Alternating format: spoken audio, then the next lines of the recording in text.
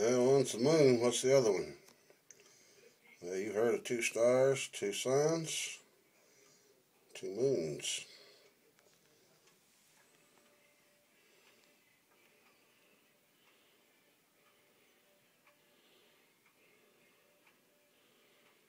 Looks like four.